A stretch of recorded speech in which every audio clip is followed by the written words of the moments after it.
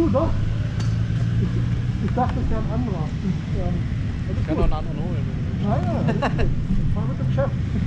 Dann erzähl mal, was machen wir? Ja. Ich fahr runter. Ich guck mir das an, lass dich ein, zwei Runden vor, dann werde ich dir das anzeigen. Ja, erstmal fahre ich vor, denkst nicht über mich nach, ich überhole dich danach wieder. Kannst du mit mir nach dem Türen direkt hier stehen bleiben, dass wir direkt Besprechung machen? Ähm, ich habe ja keinen eben an der Seite eben. Ich sag dem Kollegen Bescheid, sonst haben wir ja noch einen Ständer. Ja? Direkt. Ja, perfekt.